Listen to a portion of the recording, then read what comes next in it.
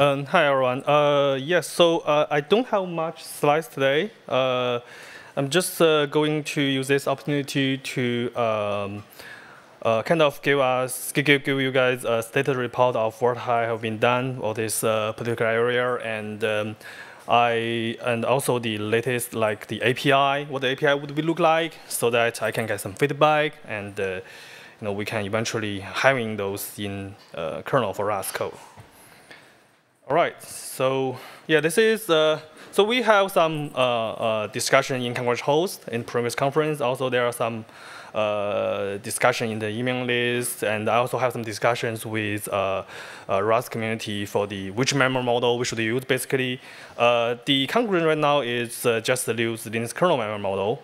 And the reason behind that is can be complicated. One, for one thing is that uh, the Rust memory model, which the C++ one doesn't really know the other memory model. So if we want to write uh, a code in C memory model and then communicate with the code in, uh, sorry, in C memory model, communicate with code in the Linux kernel memory model, then it requires like a lot of work to make that in theoretical work and also require the work that uh, compiler implementator will, will uh, make sure that the synchronization actually works. So it's much complicated in that way, but if, you, if anyone has interest to do that, I'm happy to know. Uh, uh, but right now in kernel, we stick to use our own uh, memory model.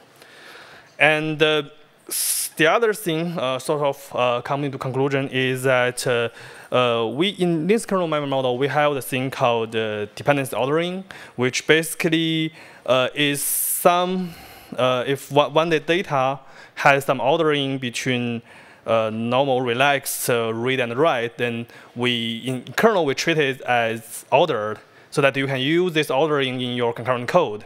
So uh, it's naturally that since we use the Linux kernel model, and then the Rust code will also uh, can rely on the uh, dependency ordering. Uh, but it's the the it, it, it, actually requires more work. So you will need to require that compiler doesn't optimize uh, code and uh, doesn't, doesn't optimize certain code away. And you also probably need to put some tag onto your uh, atomic access to make sure that the following uh, atomic access will respect to this ordering. And uh, also similar in C that uh, we know for sure that there are some cases where the dependency will just, just break. And what we do is just we tell people don't write code in that way. So that could be the same case for Rust if, if we're relying on dependency ordering.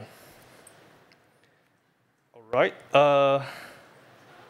So uh, the other thing I didn't I failed to discuss previously is about uh, data race rules. So uh, uh, again, Linux kernel memory model has a different, slightly different data race rule. So we don't treat normal read and atomic read as data race on, on the same, same object. And uh, I think this is also the direction that Rust is moving to. And so since we implemented the atomic ourselves, so this is not the race. And the other thing is that in C side, we have sometimes some code, I don't know who wrote, wrote that, but relying on normal uh, read, write to be atomic. And uh, it, uh, for me, I think it's, it's feel, it's feel like unfair for Rust code to just uh, if you want to, if you have a Rust code, which read the, the result from that uh, uh, write, then you, it's, it's much easier to just assume that since C, C code treats that part as atomic, then you can just treat that atomic. Then therefore, there is no data race. Otherwise, you have to modify the C code to make sure that's, uh, uh, that's, that's, there's no data race. That sometimes can be really, really uh, painful. So here is an example of what I mean. Uh, so in the, uh, the, the bio case is to uh, C uh, memory access, and the one is normal read, the other is normal write, and below is uh, three uh, Rust memory access. So if we are using Linux kernel model, then the operation A and the operation, I'm not sure if this, so operation A is a normal read, it will not have data race with operation D because uh, normal read would not uh, have data race with atomic read. And uh, for the for the but if we do a normal read, but you do a atomic write, the A and the E plus E is, is actually data race uh, because normal read can have data race with atomic operations. And uh, what the other the, the, the, the third case is if you have a normal write write B, and uh, which with the normal with atomic read, and uh, if the C set relying on the normal write to be atomic, then this is not data race. But uh, it's better that if you can rewrite the uh, uh, B into a write once, so that is atomic uh, write. Okay, all right. Uh, anyone have any question about this? It's maybe a little bit.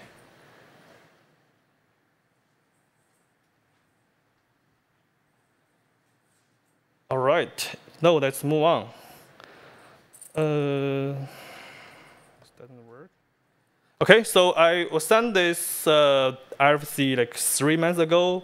It's basically just uh, wire everything into uh, C head in, in, into Rust. So the API looks like this way. You have a type, uh, a multiple type, uh, which called atomic I32, and you have uh, basically similar to a C function. You have the fetch add function, and you can uh, use that as a user. So two things to not notice here is that first is that it's not a generic API, so but it's similar to what Rust has in the standard library. It's not generic over the type.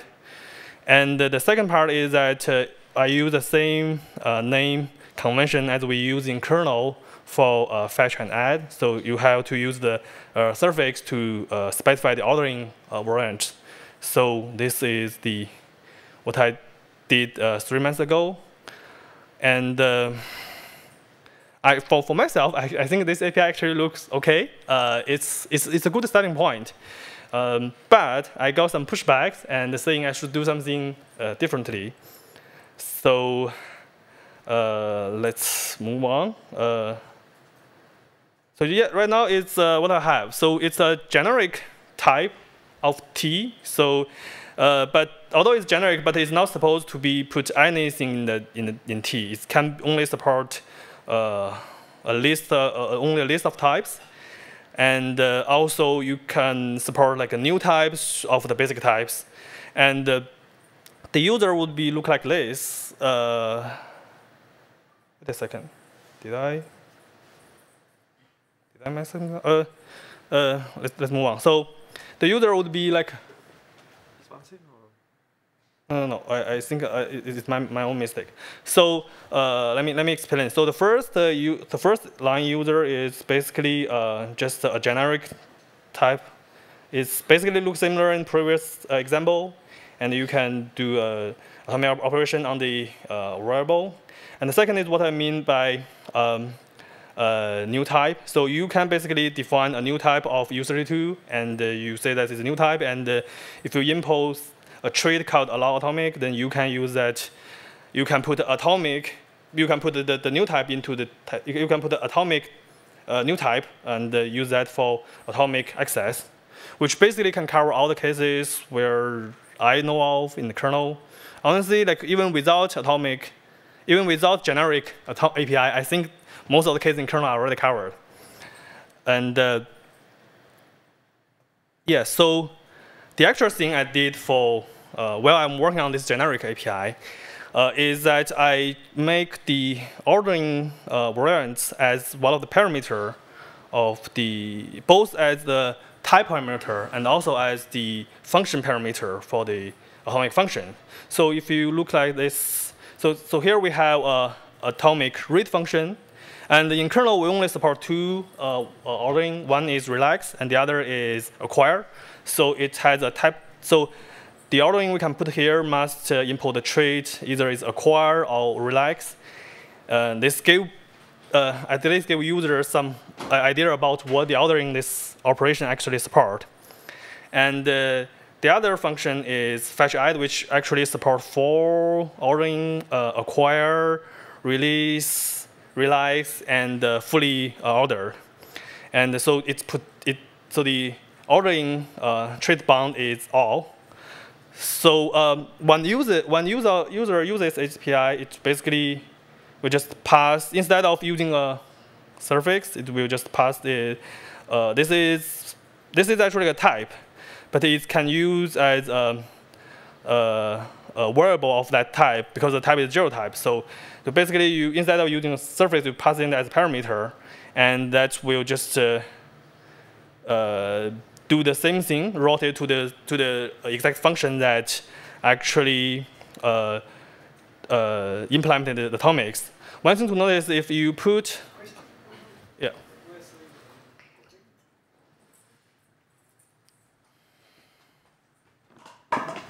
What kind of compiler error? Like, will it be uh, clear that what we did wrong is we used a invalid ordering, or will it be like uh, this trait is not implemented? Uh, right now the right now the compiler error is not uh, that helpful. It, it, it gives you a compiler error about type mismatch, and uh, I yeah I think that would tell you that uh, the ordering you, you, are using here doesn't import the ordering required by these uh, atomic operations. So basically, this part, so, so as here, so basically the foo doesn't uh, import the acquire or relax trait. But it's not directly saying that you are using the wrong order here. So that part is, I, I well, I don't know how to implement that, that but uh, it at least, at least give you something.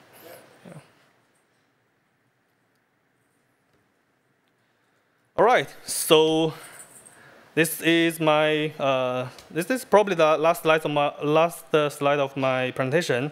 But uh, I got some questions. So first, that does anybody have any like strong feeling about uh, the generic and non-generic API? So for me, I, I prefer the non-generic, not generic API, but I'm okay with this generic. So I would like to hear like opinions from users and uh, whether this this kind of API makes sense to anybody. Oh, it, it doesn't matter.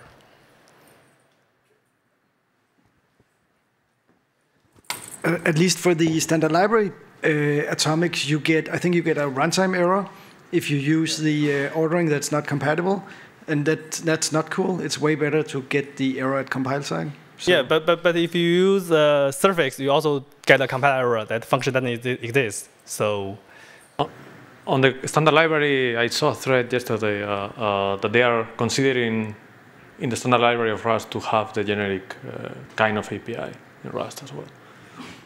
I guess my overall question is that the, I'm a kernel developer for quite a while. I just want to understand whether there will be complaining from kernel developers that uh, uh, the generic atomics may be too much. That, that's, that's what I'm trying to know.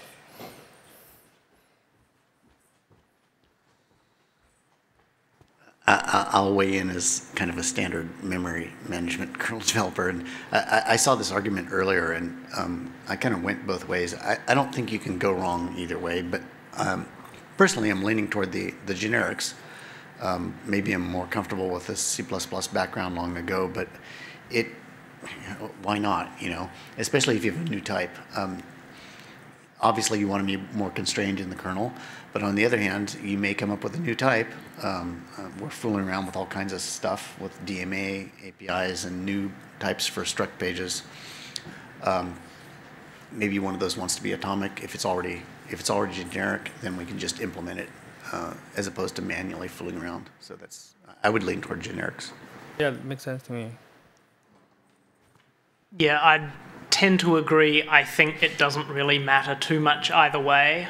Um, if like the normal Rust standard library is not using a generic, that seemed to me a good idea not to use a generic. If they're planning to introduce one, that seems to be a good idea to introduce one.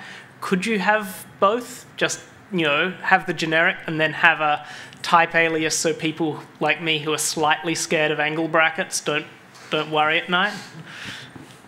Yeah, could, could we have both? Uh, Benno, I see you, you are here. Maybe you want to make a comment on this? Yeah, sure. I can I can weigh in on that. So I, I think I think having both would would be a bit like weird because maybe people will then will then not not be able to, to, to choose, or rather, people will be confused why there are two different ones, and then they see it's just a type alias. So I'm I'm not sure if if that if that is uh, a good idea because also uh, like getting getting people used to, to generics because we're using generics all over the place. I don't think that, that generics should be should be something scary. So I think if uh, atomics force you to use uh, generics, then I, I actually think that that would be a good thing. But if, if we get too much pushback, then I think it wouldn't be wouldn't be a huge problem to, to add them. And I wanted to also uh, to talk uh, talk about the, the point that uh, Andreas uh, brought up with about the error type. I just posted something in the in the matrix chat um, where you uh, where there's an RFC for for diagnostic attribute that already has been implemented in unstable manner, I think, uh, where you can change the error message that uh, when a trait is not implemented. So we could implement this on the trait, for example, uh, acquire or relax, that we could implement uh, the, the message and say this must be only acquire or relax, for example, and then, then improve the error that way. Okay, that's, that's great. Thank you. Yeah, Will. Oh yeah, so this is a more of a comment from the C side of things, I suppose. So we, I see how this maps really well to Atomic T and Atomic 64T. Mm-hmm. Uh, but for better or worse, in the kernel, as you know, we have rewrite once, we have exchange and comp exchange, and they they work on bytes, 16 bits, 32 bit, 64 bit, and in some cases we have mixed size concurrency where you've you've maybe got an atomic and you, you use something not in the atomic API, but you might access fields of it. So how would is that something that you've deliberately excluded here, or how would that work with this kind of generic approach? So uh, for a couple questions. So first for uh, compare exchange, uh, it, it, it, uh, if if we only think about uh, U32 and U64, we can just add it. And for the um, smaller size like U8 and the U, U, U16, I think so. Actually, I uh, so I had uh, I had some so I put my code into, so this is actually linked. If you download the, slide, this is actually linked to the branch. So in, in there, actually, I separate different atomic operations uh, as different uh, group. So we could only impl implement it uh, like uh, normal read and store and, and maybe compare exchange for U8 and without introduce things like uh, add and uh, decrement for U8. In that way, and uh, we can basically have, if, if, if people have want to use U8 atomic, they can use it, but the, the usage will be very limited. They can only do like, uh, uh, for mixed size, you have to like calculate your own address and do those uh, conversion casting, but that actually will, so the idea is that uh, in the Rust side, we don't have the compare exchange uh, API. Instead, we only uh, have prompt API from the atomic. So you don't have like a read one. You, you, you, you, you, we will avoid to use read ones and the normal compare change and uh, uh, store uh, SMP stories, uh, uh SMP load acquire. Those of things will be uh, not used, but those those functionality will be wrapped into atomic and you can convert a, a pointer, a normal pointer to an atomic reference, and you can just access that there. So that's that would be the uh, plan. Okay, thanks. Uh, I have two questions. One is, can you use the new type also for enums? I think there is some rep U32 or something like that. Uh, you well, currently there is no plan to support a, a like a enum in the generic uh, atomic because there may be some soundness issue, and uh, it's I, I just haven't figured out that what option is safe, what option is not. So currently, so so so uh, let me uh, put it uh, more clearly. So we have this trait allow atomic. It's a, it's an unsafe trait, so you cannot implement it yourself arbitrarily. And uh, moreover, we also make sure that it's only the the atomic model can imp import this trait. Other, uh, uh, so the other user cannot import the trait, and uh, well, we have to do this through like a review and uh, some sort of, of like that, that guarantee. So. Uh, second question: Have you also looked at like barriers and also the optimized barriers, like before atomic, after atomic? Um, so I think that would be introduced straightforward, just like a function to uh, to the C function call to a C.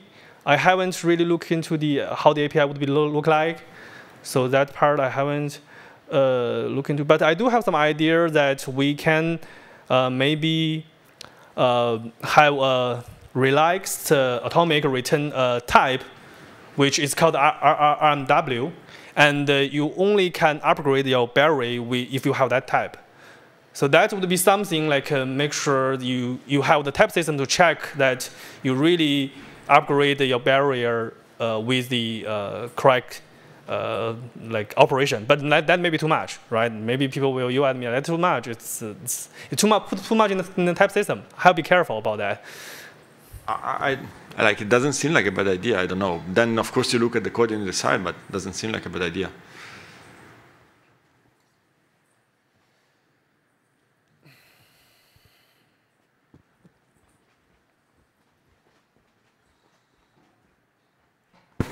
So this has possibly been discussed before, but with this new implementation of atomics, will we be stopping people from using the old core atomics API, um, which has some limitations such as um, lesser architecture support for things like atomic U64? So, uh, you mean, well, I, I, I'm not sure why. Uh, so Linux kernel uh, atomic actually support all this like you even for 632 bits architecture we sometimes support U64. Yeah. So but the Rust core atomics don't. So with this API being implemented, will we get rid of the Yeah, yeah, core yeah. atomics so that Yeah, no one can accidentally uh, use that Right. Yes. break? Yeah. Yeah. Yeah. We can do that probably with a clippy disallow thing that they have, or we try to get a CFG so that we really strip out the, the, code entirely, maybe. I don't know if that would work, because maybe something the core library is using that internally, and I don't know. All right. Uh, any other question? Oh, input.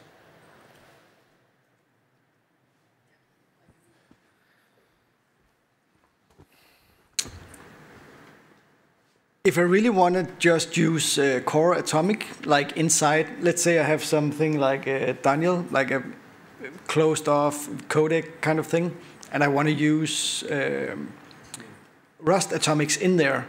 Is that sound? Can I do that without breaking anything? Uh,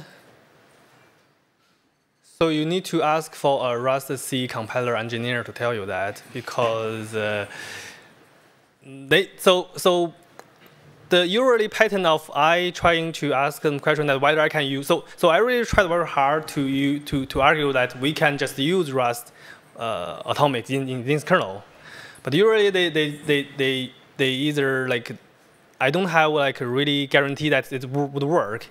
And also, I also want to point that uh, uh, the uh, I also have point to them that there are some uh, uh, uh, this, there are some optimization that can in theory happen in the uh, with the Rust memory model, but they said they, they basically told me that they, they won't happen that, that won't happen. So, but they, in theory that could happen. So it's really like they, they have the right to explain that. So I don't really know that. Uh, you know, if you want to rely on that, I think it's it's not. I, I, I, don't know whether that would work or not. I have a kind of answer to that. There's two cases. One is where uh, you are just using atomics on something that is within your subsystem, and like your struct, nobody sees that. That's of course perfectly fine. Like nobody cares. If uh, it's talking to something else, people will say that it is not good, but in practice, it's undistinguishable from kernel talking to user space. And in user space, you have no idea whether they're using a memory memory model, uh, ASM from the 90s or whatever. So it is like sound, uh, even though nobody will promise that, but there is a problem, which is something that I think is also interesting for him, which is that nobody really knows what the compiler barriers are. Like the compiler barriers exist, the the signal fence in, in C, I don't know what they're called in Rust, but nobody has ever tried to define them. So personally, if I was writing the, the kind of stuff that Boqun is looking at, I would also want to put compiler barriers close to the ASMs so that the compiler knows that there is an acquire semantics there. But in order to do that, it would be nice to first have people agree on what the compiler barriers actually are. Yeah, cross. What about cross-language LTO would affect that? That's something that you routinely do in user space between libraries or between kernel and user space. Like a Rust program that uses futexes is talking to C code in the kernel that uses uh, that implements futexes. So he knows more. So. Yeah, don't do it. it. is what I would say. Um, I think, and that's not, not just to you know uh, try to scare you. It's, it's more that the compiler will have mappings from its memory model, the Rust memory model, whatever that might be, to sequences of instructions, right? For weakly ordered memory architectures, it, often there's a choice of the, of the, instructions the compiler might emit for this, and it's really important that um, everyone uses the same mapping scheme, right? So if the kernel has got some uh, handcrafted assembly which is somehow subtly incompatible with what the compiler is generating, it'll probably work most of the time. But when it doesn't, you won't be able to debug it. It's as simple as that. So I would just avoid opening that can of worms if you can. Okay. Uh, Another idea that we could do maybe is uh, uh, for the other thing that you mentioned, uh, that core atomic. Uh, perhaps we could uh, eventually to use the third-party library that uh, I think was your question, Andres, right? Using third-party code that uses core atomics, right? We could maybe try to map. So don't allow to use the core atomics in kernel code, but maybe we could allow to use the core atomics that call into your atomic types just for the purposes of third-party code that we may yeah, want yeah. to so, use. So yeah, so we can implement it uh, core uh, atomics with Linux kernel memory model. Yeah, I think we can do that. Uh, it's it's uh, Linux kernel is really stronger than than the. Even if it is just the subset that we need for whatever library that we want to use. Yeah, yeah, yeah. That, that's that's that's doable. Yes.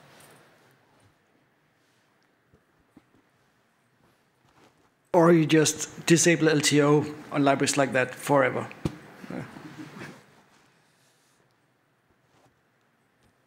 Okay, any other, there is no question online, right? Okay, so thank you, Betun.